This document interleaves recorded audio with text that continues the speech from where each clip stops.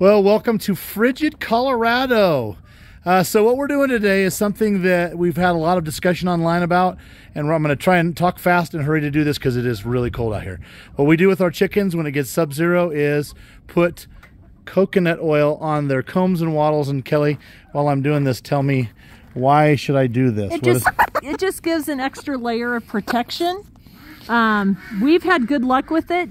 Um, not with Vaseline though. Some people do Vaseline. Sorry, can you get the camera where I need it to be?